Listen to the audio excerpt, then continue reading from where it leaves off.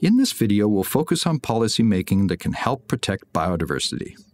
How does interest in biodiversity and conservation solutions feed into the idea of actually making policy? The important thing to recognize about all of this is that organisms don't really care about borders and boundaries. Ecosystems don't have to respect the political divisions that humans make. And what we mean here is that although we can start with individual action and encourage it to become broad scale change, it still has to translate somehow into local, regional, national, and eventually international policy. We need ways of engaging in dialogues across political boundaries that allow some kind of regulation, some sort of formal process for developing policy that can lead to protection of biodiversity worldwide. We have to consider that economic factors generally trump almost all other considerations. Decisions are usually made with short term gain in mind at the expense of long term effects, and that's something we have to be prepared to deal with at every point when talking about policy and regulation. But we've also seen how long term effects are now starting to impact even this short term view. Things that we once thought might not have an effect until a long way in the future are affecting us now. We're no longer at a point where environmental change and damage to biodiversity and ecosystems are things that we can ignore. I remember as a kid people saying, well, someday this is going to be a problem. But this is someday. Conventions and policies have evolved over time to recognize that some species really are in a whole heap of trouble right now. There are policies invoking trade limits on natural resources of various kinds, such as regulations on logging of trees for their wood, or strip mining for metals in both developed and developing countries, or the act of stripping entire mountains down to their core to extract coal. These are things having deep and abiding effects on biodiversity. Still, they're governed by treaties that are economically based. The very nature of international trade has effects on biodiversity in sometimes subtle ways that we don't always see right away. For example, political statements indicting certain government actions that are threats to biodiversity can put economic pressure on governments, such as recent pressures put on Japan for what is called research whaling.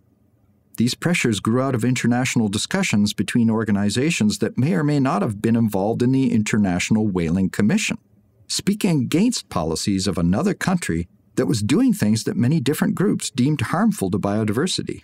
Such actions are not necessarily parts of formal treaties. They grow out of concern by individuals that can work its way all the way up to international policy. Let's look at local policies for a moment. They can include things like formal recycling programs, or the establishment of local clubs that set up biodiversity gardens, or the monitoring of open spaces and local parklands. Neighborhood watch programs are likely going to become much more than a neighborhood watch for crime. Someday, they're going to be neighborhood watches for people letting their pets run free and eat birds, or just generally doing things that are degrading local environments.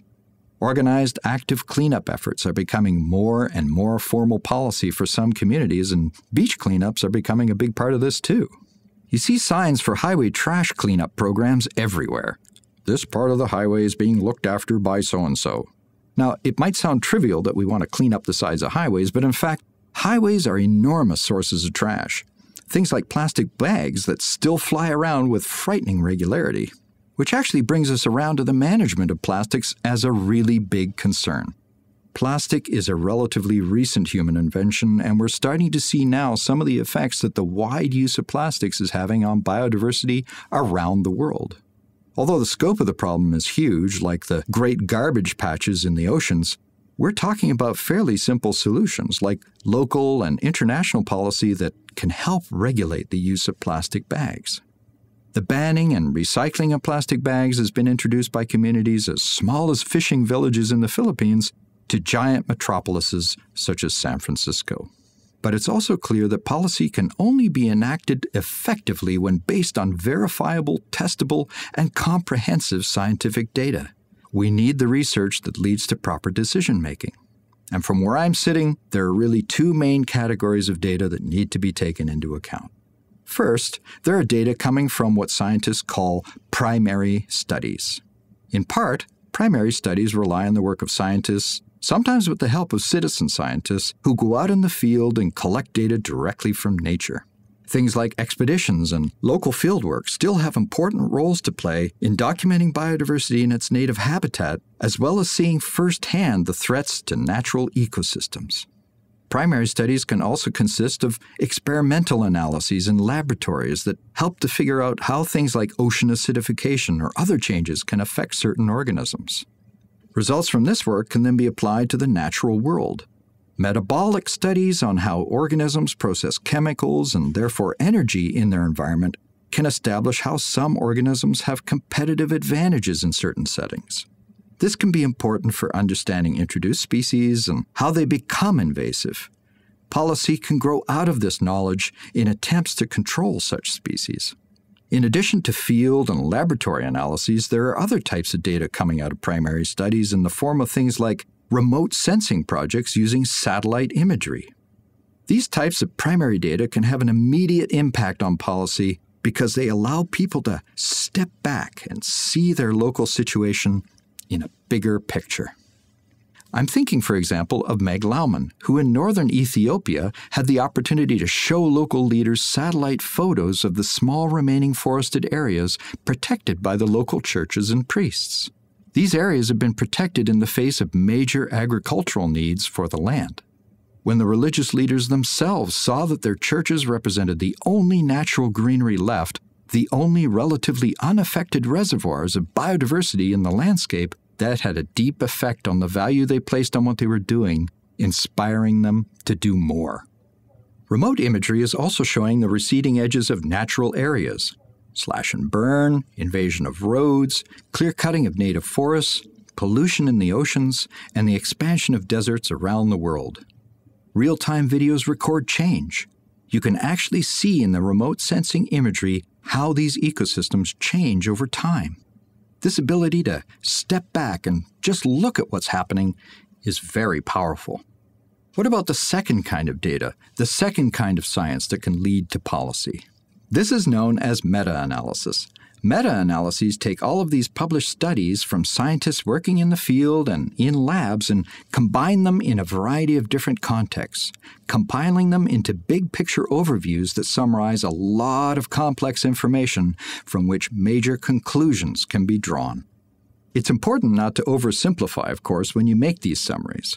But it's also true that major trends and patterns can emerge from looking at broad swaths of the published literature. Sometimes they can result in models of how complex systems work so that predictions can be made. Meta analyses provide a survey of what's known and, perhaps most importantly, what's not known about biodiversity in certain critical areas, providing pathways along which good policy can be taken. A good example of this was the effort to classify biodiversity hotspots.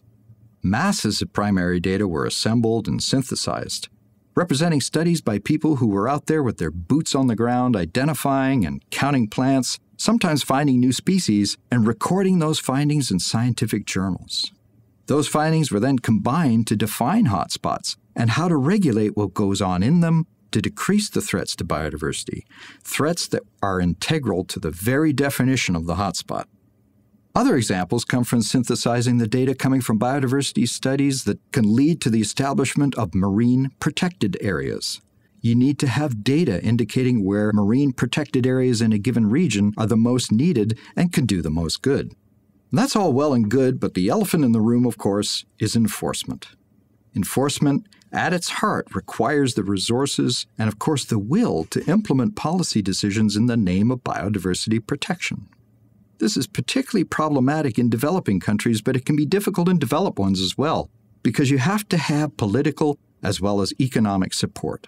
But in developing countries, it's particularly acute because those are also most often the places where biodiversity is not only the least known, but still existing at higher levels because, by definition, it hasn't been threatened by development. On the basis of what I might know about a given country's biodiversity, I'd never dream to tell a policymaker to make a policy that would protect biodiversity but threatens the livelihood, health, or economic well being of the people that live there. This is hubris of the worst kind, But it's not hubris to use the combined power of science and education to illustrate and reinforce how good policy protects biodiversity while still providing for sustainable use of the natural world. It's not hubris to reinforce the importance of long term sustainability, not just short term economic gains.